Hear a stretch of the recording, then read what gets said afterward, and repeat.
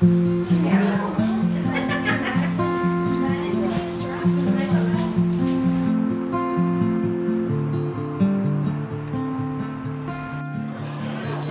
and Hillary, I am so proud of you, and I'm so delighted to have another daughter in my family.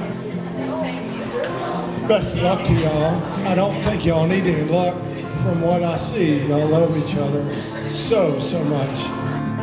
Thank you.